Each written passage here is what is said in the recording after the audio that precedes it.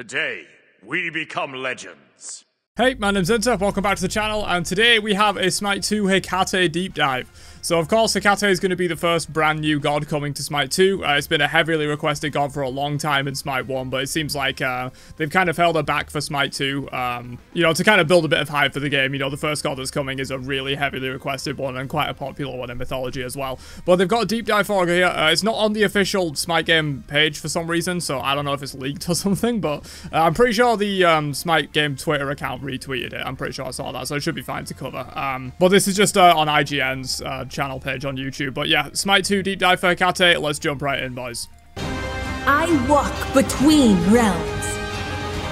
Tartarus calls for you. Open the gates.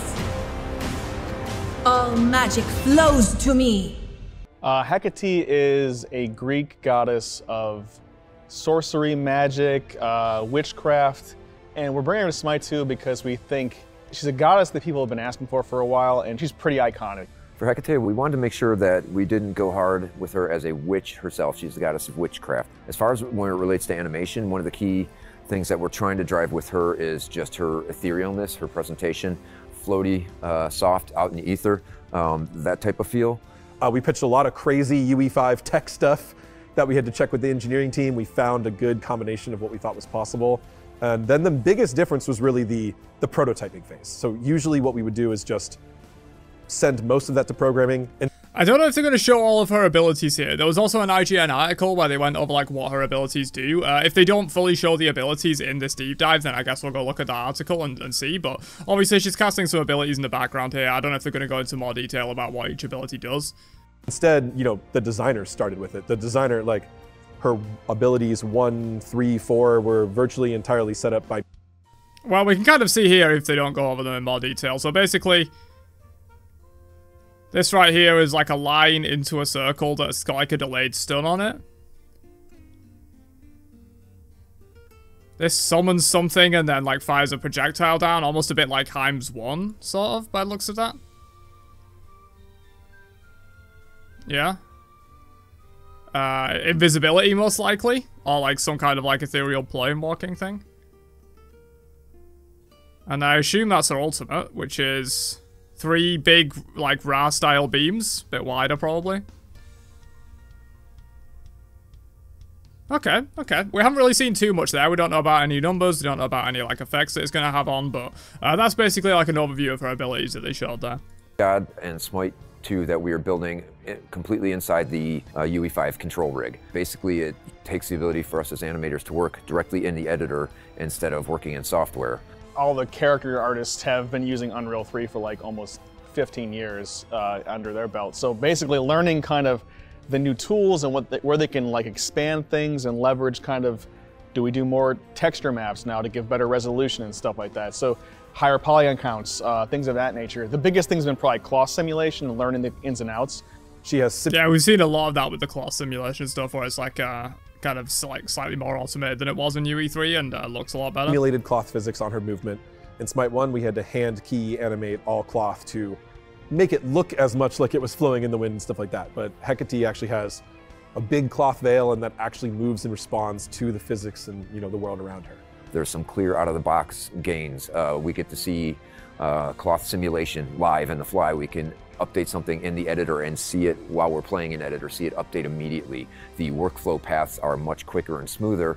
The part that's kind of had us leveling to a middle ground here is we are still learning it. So we get some awesome upgrades. We're learning those on the fly. It's balancing together. So it's been a challenge. Yeah, that's the thing. Like, there's a lot of new tech that they're working with and stuff that, that can really improve what, they're able to do with Smite 2. Uh, the fact that they're already doing so much cool stuff with it and, like, the workflow is already so much better when, like, they have devs that have been trained on UE3 and been working within Smite's version of UE3 for, like, 10 years. Uh, some of the devs that were working there. It's kind of crazy, like, what they've been able to do so far with UE5. You know, imagine, like, five years down the line in, in Smite 2's lifespan, like, some of the crazy stuff they'll be able to do. But it's been an awesome challenge. She has two, like I'd say, are really unique gameplay features on the kit. One is that she kind of has a twist on the interact feature. Hecate has two special case interacts just for her. that in certain situations So the interact thing, for those that aren't aware, uh, you, you have like an interact key in Smite 2. You can use it to like open the base doors. You can use it to pick up buffs. You can use it to interact with the Warhorn and the teleporters, all that kind of stuff. She can now interact. So her passive is actually kind of an active in this way. The other one is her ability Okay, they didn't really talk too much about what that was doing, but that looks to be like some kind of tower augmenting ability. You know, she was using it on the Phoenix and the Titan and the towers and stuff, so maybe she can like amplify a tower or something like that. Maybe it spawns uh, super minions. Probably not. It probably just like amps up the tower. The other one is her ability 2. She puts down a magic orb. Every single ability that's activated from an enemy god or ally god powers it up, and then she refires it to do damage based on how much fighting was going on in the area.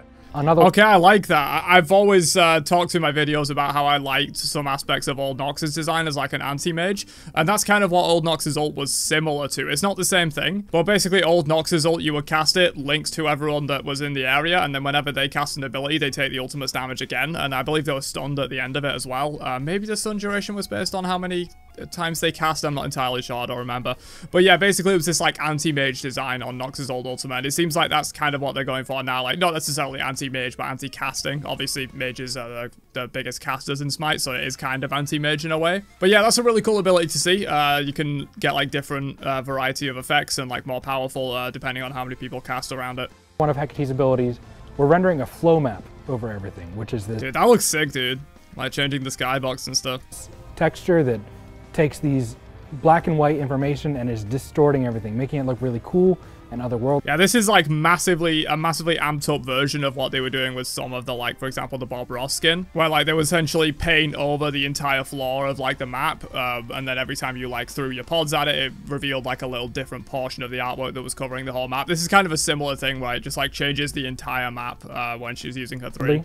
I, I think the world material visuals, that is just something we wouldn't have done the same way or couldn't have done the same way in UE3. In UE5, it just looks different and you can actually tell, like I can look at another character model and see they look normal, then I can look at the world and the ground and the environment and see that is all distorted. We have a level of control that we couldn't have done in UE3 visually. That looks sick, dude. I Doing the like first that. Moon God and Smite 2 Hecate uh, has been a fun and interesting challenge, and I hope that, that the work we've put in resonates well. We're really excited to get it in the hands of the players, um, and we had a lot of fun just pushing the limits of what we can do for the characters and abilities and everything of Hecate. So we hope you enjoy her. Um, like I said, I know the team here really had a great time, so we hope you do as well. Obviously, everyone on the dev team, we're very excited to, to let more players into Smite 2. The uh, closed testing with ambassadors and streamers and pros has been really fun. That's me. And with employees has been really fun. Um, we hear a lot of positive feedback every test, and then also a long, long, long to-do list. We're trying to remake over 10 years worth of game here, so the to-do list is long, but we're looking for improvements and quality everywhere we can, and I think we're we're finding it in almost every place. We're finding something good to change, improve as we go, Yeah, uh, from from my general feedback, like from playing, I obviously can't talk about anything specific, but it's shaping up really well, is what I can say.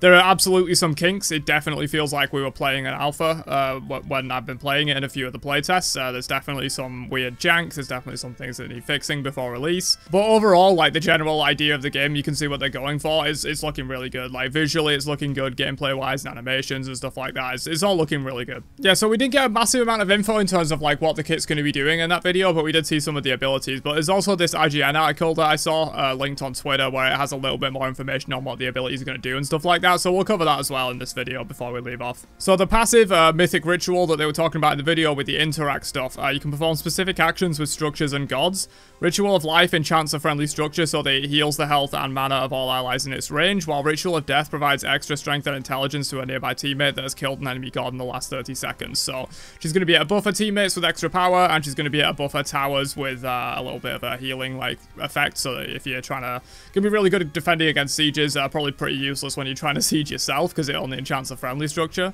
Honestly, might be kind of cool if you could enchant an enemy structure to also heal you. Obviously, not heal the enemies, but like if you're diving or whatever, your tank can sustain up a little bit longer because they're getting healed by it. That could be maybe a cool addition. Uh, Kate's other abilities include two magical projectile attacks, one called Tartarus Cell and an ultimate called Open the Gates, the latter of which shoots the three beams back to back while providing CC immunity, so they don't mention anything about any other kind of effects like CC or healing or anything like that. I have to say, it does seem a little bit boring, uh, unless it's going to do something else. Like, isn't this just Morgan Le Fay with less things? Uh, kind of, kind of, right? But perhaps the most interesting of her abilities is the Spell Eater, which is the one that sends out the sigil, uh, charges every time an ally uses attack, then eventually can be fired at a targeted area uh, at up to 120% increased damage. So I assume that means uh, 2.2 times damage, so you can get some big major damage there if uh, people are casting around your Spell Eater. But yeah, there you go. That's all the information from the video and the article about uh, how Hecate is going to work in Smite 2.